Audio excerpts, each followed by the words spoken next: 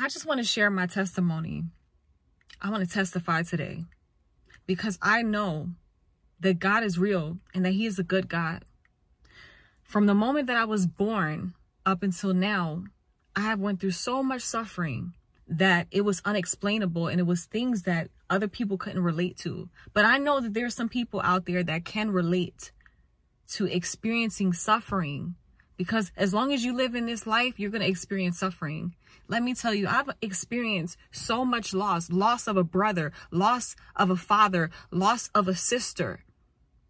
So much loss back to back, like the, like Job in the Bible, back to back.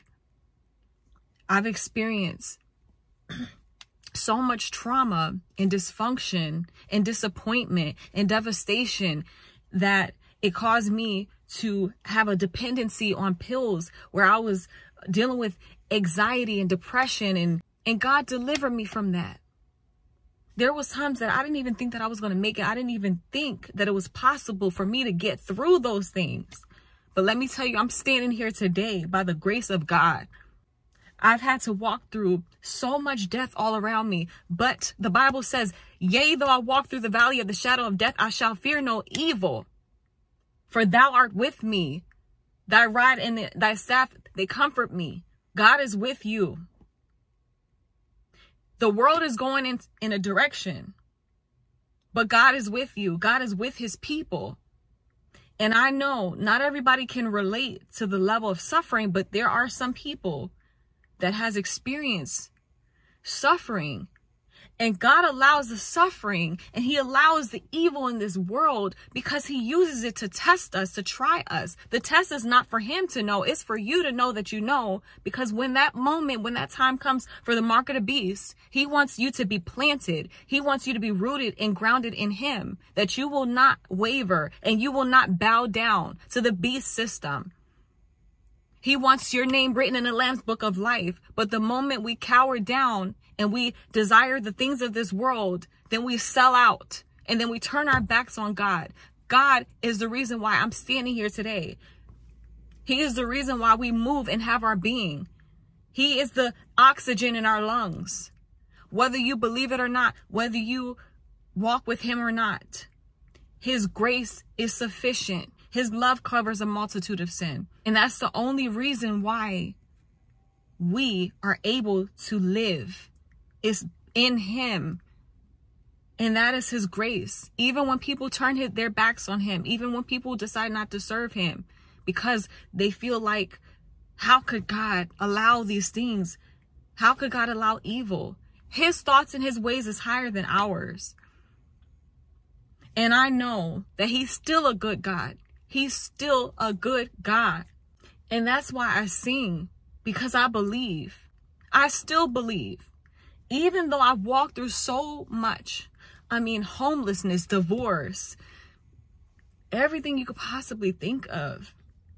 So much loss. And people, when they take a, one look at me, they don't think that I've been through those things because God, He never wanted me to look according to my circumstances. He wants us to represent His glory. That is being a representative of his glory, that even though you walk through so much suffering, you still don't look like what you've been through. That is a miracle in itself. That you can be able to, that is a miracle in itself that you could be able to still laugh, still have the joy of the Lord. The joy of the Lord is your strength, that you can still be able to have peace, the peace that surpasses all understanding that you can be able to be in your right mind after all the things that we've experienced in this life. And that's why I sing. I sing because he still deserves all the glory, all the honor, all the praise, despite what we go through. He's still on the throne. The fact that he sent his son to die for our sins is enough, is enough. And we have to rest in that that he already conquered the grave. He's already conquered sin and death. So we have something to be grateful for. We have something to live for. We don't have to be defeated. The trick of the enemy is for us to get our minds focused on the things of this world. Because the enemy glamorized all the things of this world And he wants us to go after this. And he says, look at this. You see this? Don't you want this? All you got to do is bow down. All you got to do is sell your soul. But God has a remnant who has been tested and tried for such a time as this that we will not bow. We will not waver. We will be anchored in him. We will be rooted and grounded in him. And it was like being in a military, going through physical training, preparing for the battle, preparing for the war, but the, the battle has already been won when Jesus Christ, the son, rose from the grave. That's why he sent his son to die for our sins. That's why he sent his son. He carried the weight of our burdens and he still carries them. He wants us to cast our cares upon him. He is with us and he is a good God. He's still a good God. And he wants us to get to the point where we're like Job when he finally surrendered and he said, yea, though you slay me, yet will I trust you, God.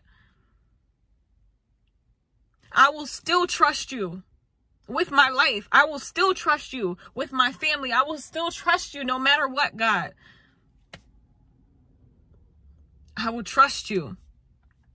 Even when everyone else is bowing down to the agenda, everyone else is selling out, everyone else is being appeased by darkness, when everyone else is lusting after the things of this world when everyone else decides to take the mark of the beast. We, the ones who have been tested, the ones who have been tried, will stand firm, planted in Jesus' name, in the authority of Jesus Christ, and say, I will not bow. And know that your reward comes from our Father in heaven. We have to press towards the mark for the prize of the high calling. That's all that matters is what God has to give. And what God has to give, no man can take it away. This is why I praise the Lord. This is why I cry the way that I do because I'm casting my cares onto him. And I know that he is able to do exceedingly abundantly and above all that we could ever ask or think. No matter what it looks like, we walk by faith and not by sight. This is what faith is, is believing in the things that are impossible, believing in the things that we cannot see. And we have to hold fast and be steadfast and not give up. Galatians 6 9. Let us not be weary in well doing, for in due season we will reap the harvest. If we faint not, we must not faint. That means don't give up. Don't give up. No matter what it looks like. That is what faith is all about. No matter how dark this world is, no matter how much wickedness there is in this world, no matter what God has allowed. Because maybe, maybe God is doing with you what he did with Job. He asked Satan, when Satan was in the presence of the Lord, he asked, have you considered my servant Job? Have you considered my servant Job? Put your name there. Have you considered my servant? And maybe he's asking that question. Maybe it's not about what you're doing wrong. Maybe it's about what you're doing right. And maybe it's about where God is pulling you through and taking you to. We're not going to always have all the answers. And sometimes we have to just surrender even in that, trying to rationalize, trying to fathom, trying to process everything. Maybe it's just a matter of relinquishing, releasing. That is true trust. That is true surrender letting go of our understanding and leaning not unto our own understanding.